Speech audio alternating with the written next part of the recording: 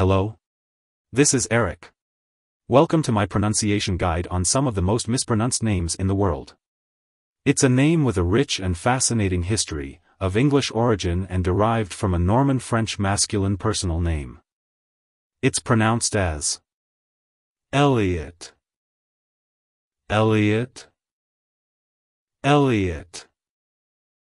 To pronounce it correctly, emphasize the first syllable, eh, and then li and uht. Make sure to pronounce the t at the end softly. Like, hello Elliott. Goodbye Elliott. If you found the video helpful, hit the like button and subscribe for more on commonly mispronounced words.